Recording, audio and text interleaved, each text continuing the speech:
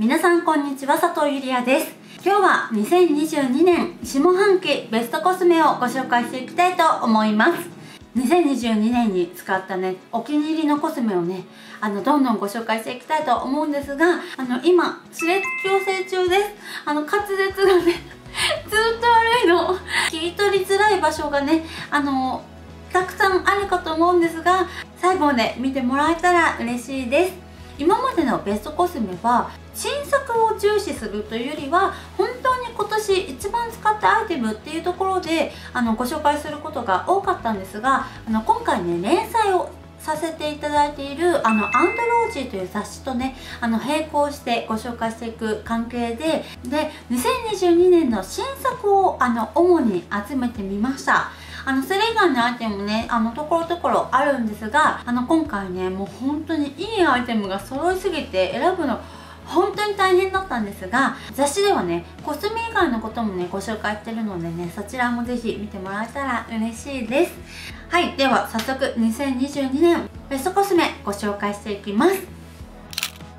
では早速ご紹介していきます。まずは日焼け止めです。肌のことを考えるとやっぱり日焼け止めは日焼け止めとして使う方がしっかりね紫外線から守ってくれるということで私は化粧下地の前にこう日焼け止めをね使うことをすごく大切にしています。中でもずっと愛用していて本当に好きなものがこちらです。ポーラ BA ライトセレクターです。こちらは日中用クリーム日焼け止めになります。本当に動画を出し始めた初期からこちらのポーラ BA のあの日焼け止めがすごい好きでずっと使っているんですがそれがね進化しました太陽の光の中でもこうブロックするものと取り入れた方が肌にいいものっていうものが見つかったのでその肌にいい赤い色の光を取り入れながらいらないものはブロックするだったりあの張りをより感じられるようになったり、まあ、美容効果も高まったりあと透過ケアができるっていうところでこちら本当に高いの。日焼け止めでこのお値段かって思うんですが、まあ、これから先年齢重ねて出てくる肌トラブルを防ぐそれに対するケアや時間のことを考えたら私はこういうものでしっかり守ってあげるっていうのはあの自分のね肌への投資っていう意味ではあのすごく大事なんじゃないかなと思ってこれはもうずっと大好きで使っています。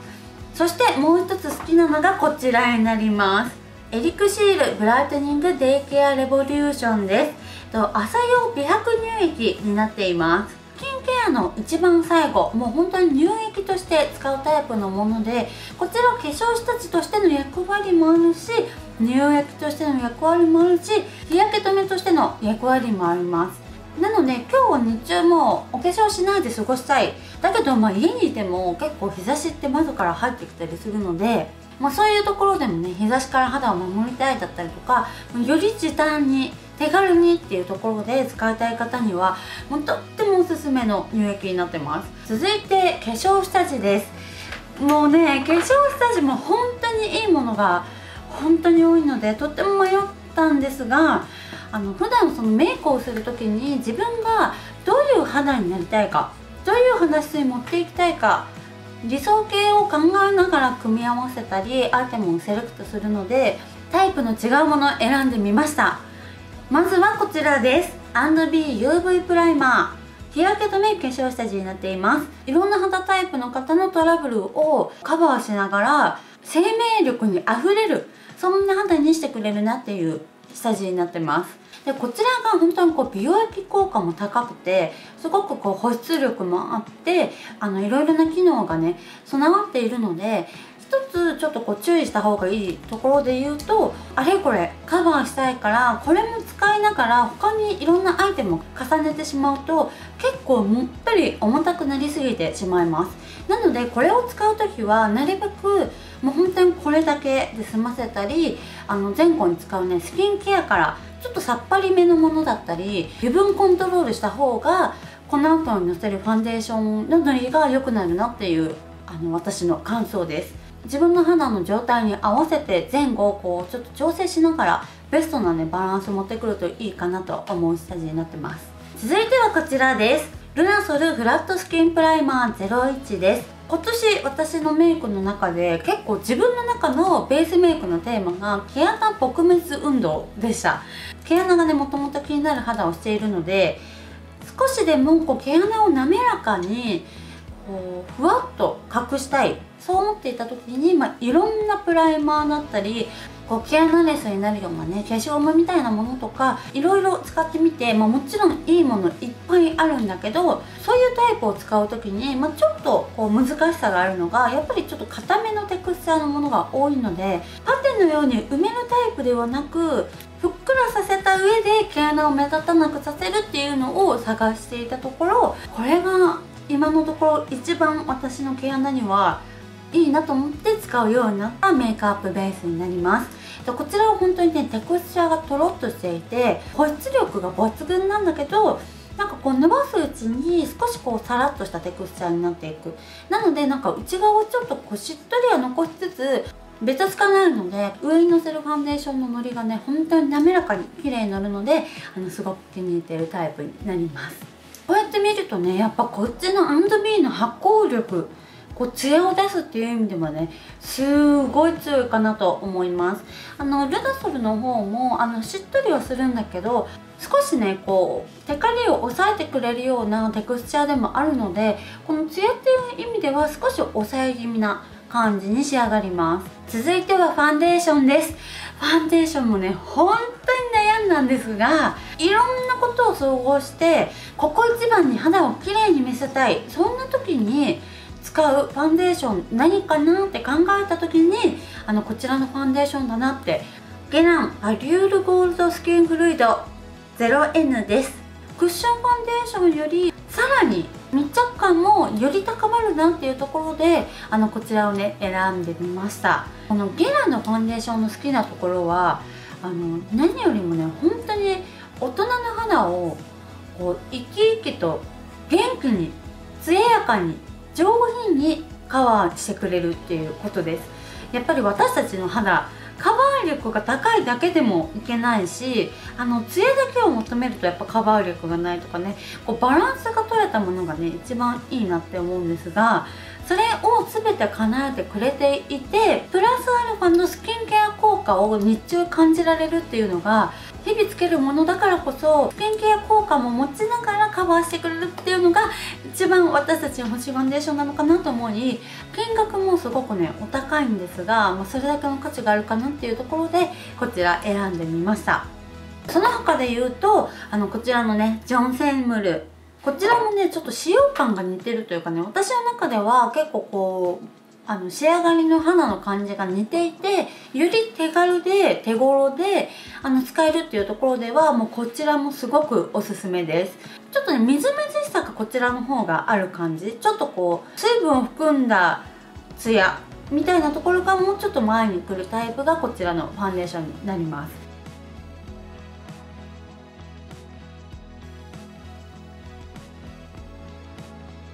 ポンジ部門優勝はこちらの &B のスポンジです。これかなり優秀です。密着度がすごい。こちらの RMK リクイドファンデーションフローレスカバレッジ。102番こちらも2022年使ってあのかなり好きなファンデーションでした。日々使うのにすごく使いやすいこの素肌感。それでいて肌をちんと綺麗に見せてくれるっていうところで本当に素肌の延長のようなナチュラルでこう艶やかな肌が好きな方はもしかしたらゲランよりはね RMK の方がね向いてるのかなと思います。ただ私はまこういう素肌感のメイクの時ももちろん好きなんだけど今回ベストコスメで選ぶってなると外せなかったのがこちらのゲランのファンデーションかなという感じです。続いてパウダーはこちらです。コスメデコルテオーラリフレクター02番です。肌が本当に綺麗に見える整って見えるトーンアップしてくれるこう艶やかに見える。あとはこう粉飛びしないっていうのが持ち歩き用にも普段のこの最後のねフィックスさせるタイミングでもあのすごく使いやすくて総合的に全ての中でやっぱり一番使いやすくてねあの信頼できるパウダーだなと思って今回こちら選んでみました。ブラシとパフ両方ついてるので持ち運びしたい方はねあのお気に入りの方で使うっていうのがいいと思うんですがあの私はもうこういうね大きなブラシに取ってこうふわっとのせるのが好きです。油分は抑えながらツヤは殺さない。そんな感じがねします。こちらカラーでね補正してくれるっていうものにもなっているのですごく綺麗にトーンアップしてくれます。なのであまりこのベースメイクで元からこうトーンアップトーンアップって引き上げをしているとちょっと顔が白浮きしてしまうかなっていうところがちょっと注意してほしいんですがあの全体のバランスを考えてねあのこちらも3色あるので自分の肌に合ったもの最初からねこうトーンアップばっかり意識してそういうものを重ねすぎないようにするっていうのもあの使使う時のねポイントかなと思います。はい、これね時間が経つとよりあの粉がねこう肌に馴染んできて艶やかにも見えるのでそういう部分でもすごく好きです。続いてはアイシャドウです。アイシャドウはこちらです。ランコムイプノパレット18番。こちらのアイシャドウパレットになります。あのランコムからね新色ということでこちらの18番が新発売されて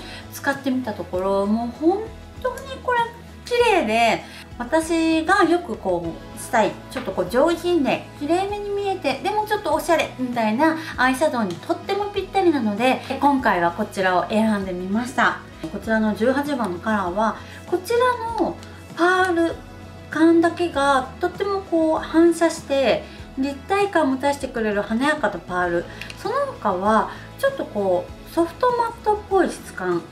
で落ち着いたピンクの色味っていうところがね普段のねファッションやなりたい雰囲気の目元にとってもぴったりなのでそういう意味でもねこちらは本当に万能です。あとは鏡の部分にこの使用見本が載っています。これもあのメイクどういう風にしようかなって悩む時の参考になったりしてなんか面白いなと思います。アイシャドウのソフトマットの粉がちょっとしっとりしていてあの粉飛びもしづらいしあの目元をねふわっと仕上げるんだけどどこかしっとりっていうところがすごくねいいなと思います。続いてはアイライナーです。D アップシルキーリキッドアイライナー。ブラウンブラックとナチュラルブラウンです。今までねリキッドよりもペンシルを重視しているアイメイクが多かったんですが最近はリキッドの方が目の下に落ちづらいんじゃないかなっていうのにたどり着いてプラメイクで使うようになったのがこちらの D アップのリキッドアイライナーになります。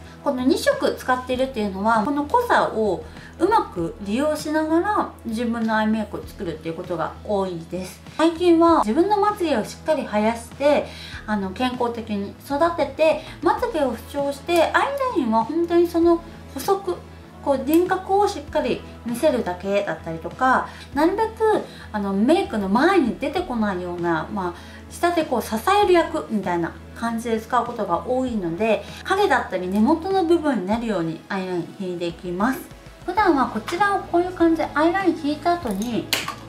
この一番濃い締め色で少しぼかします。目尻の上。ちょっとこう横幅を持たせるように。あとはもうここもほんのり重ねてぼかしてあとはここの下まぶたのここを少し埋めてあげる。ビューラはね変わらずシュウエムラのものをずっと使っています。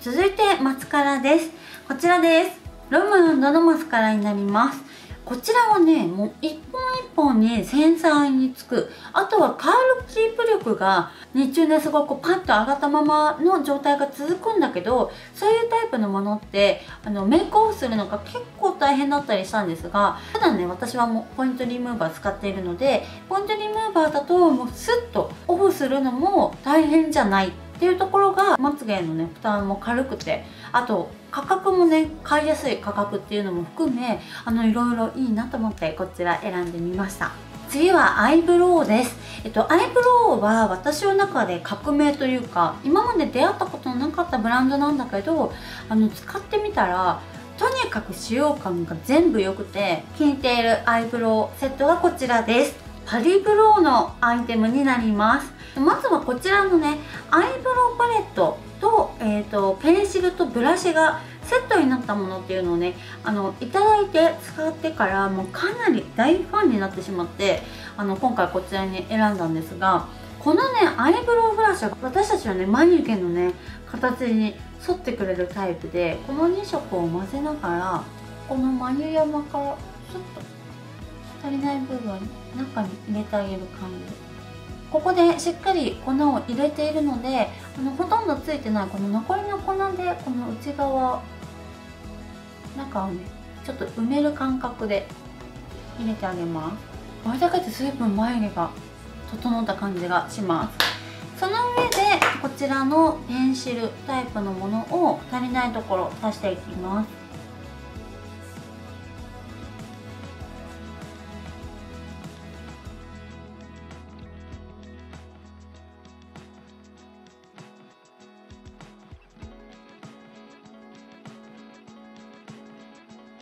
こんな感じでね陰影入れるのにもすごく向いてます。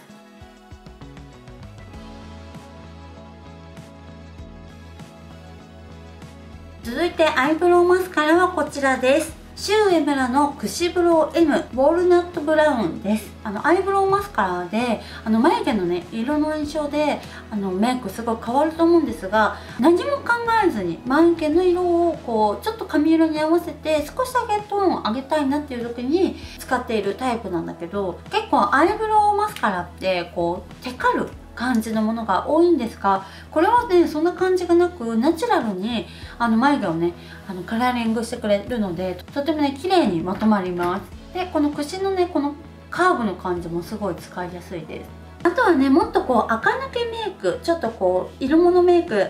したい時はこのねアンドビーのこちらのアイブロウマスカラを使うとね本当に一気にね眉毛をオレンジにするとこんなにおしゃれな雰囲気になるんだっていうのをね今回私知ったアイブロウマスカラになります。今回のメイクのバランス的にはこちら合わないので今回はあの選ばなかったんですがこういう垢抜けメイクみたいなしたいっていう部分ではこちらもねベスコスに入るなっていうすごいおしゃれなカラーのアイブロウマスカラです。続いてチークはこちらです。サクメルティングパウダーブラシ04番こちらはベストコスメ上半期でも選んだアイテムになります。あの他にもねいいなって思うアイテムもちろんあるんだけどやっぱり今年のチークで言ったらもうこれ以外考えられないと思って2022年まとめた上でやっぱり一番いいのはこれだったかなと思います。まあ、基本的に血色を上げてツヤを上げる。まあ、そのこうじわっと自分の高揚感みたいなところを上げる意味ではこちらのチークはねすごくあの無難に使えるカラーかなと思います。あとはこの鼻表面にこのツヤが出てくれるので頬にねツヤがあるとねやっぱメイク全体的に綺麗に見えるのでそういう意味でもすごくこちらのチークは気に入っています。はいもう一つ違う角度から見た時に好きなチークはこちらです。ロマンドのねチークになるんですがこちらはあのラメ感が一切ないチークになってます。色もちょっと白っぽくてそんなにこう血色をバンとオレンジピンクみたいに出すわけではないんだけどのせた時にフェイスパウダーの延長みたいな感じで血色感を足してくれるものになります。なので色が全面的に出ないのでチークをこうバンって前に出したくない時あとはこのパール感全くない結構マットな質感をしているのでこの頬の毛穴があの気になるっていう方はこうソフトフォーカス効果があるような毛穴をぼかしながらカバーしてくれるタイプのチークなのであのそういう感じで使いたい時にはねこちらもとっても優秀なアイテムだなと思います。ハイライトはねこちらになります。ディオールスキンフォーエバー唇ルミナイザー02番です。やっぱりねこちらも本当にこうどんなメイクにも合う華やかなツヤが出るっていうことであとはパウダーなので使いやすさもあるのでこちらを選んでみました。引き続きねこちらのシャネルのねこのハイライトも本当に好きでもうこちらも本当に使ってるんだけどコスパが良すぎる。本当によく使ってるのに伸びがいいのでなかなか減らない。そして私が好きすぎてご紹介しすぎなのでちょっとこちらはえますがちょっと色の出方が全然違うのでその日のメイクの気分によって変えるんだけどディオールの方が粉でねこうコンパクトになっているっていうところでは、まあ、使いやすさとしてはやっぱこっちの方が使いやすい。水っぽいツヤが欲しい方はねシャネルかなと思うんですが光に反射した綺麗なツヤ欲しい方にはねこちらのあのディオールのハイライトもねとってもおすすめです。リップはファッションやその日の気分によってねあの使い分けることが本当に多いのでまた別の動画でご紹介しようと思っているんですがその中でも今年本当に一番総合的に良かったなって思うのがこちらのあのロムのねリップになります。こちらの好きなところはまず落ちにくい。それでいてこう水っぽいガラスコーティングしたようなこうツヤっとしたあのリップが持続すること。あとはこちらのカラーがイエローベースと言われる方にはとにかく似合うからじゅわっと自分が持っている唇の血色かのように唇を染め上げてくれてそれでいてこのみずみずしさがこうじゅわっと見えるのでこう無理やりなメイクアップ感はないのにしっかりメイクアップしてるんだけど無理やりなメイクアップ感っていうよりはなんかちょっと私の唇の持ってる素材がもともと可愛い色みたいに見えるリップかなと思います。じゅわっと水っぽさのティントっていうところもねかなり好きなポイントです。あのすごくね今しっかり色が出るように塗ったんですがちょっとこう高発色すぎてもうちょっとナチュラルにしたい方はささっと塗って指でぼかすだったりとか色の濃さのね出方も自分で調整しやすいのでそこをねあの調整しながらやってみてください。ということで以上が私が選ぶ2022年ベストコスメのご紹介でした。どうですかね？これ私も好きだったとかいうアイテムありますか？私がこちらの動画を公開する前にいろんなね美容雑誌でもうすでにベストコスメってあの発表されていたりしてなんか自分の中では答え合わせじゃないけどあやっぱり今年これ人気だったんだとかあ私も選んだアイテムが入ってるだったりとか知らなかったけどこれってやっぱりいいんだというアイテムがあったりしたのであの毎回ね雑誌はもちろんチェックするんですがいろんな方のね SNS だったりいろんなところの情報でみんながね良かったベストコスメを知れるっていうのはね本当にこうコスメ好きとしてはねこの年末はね一大イベントだと思ってます。是非あの気に入るアイテムに出会えたら嬉しいです。最後までご覧いただきありがとうございました。また次回の動画でお会いしましょう。バイバーイ。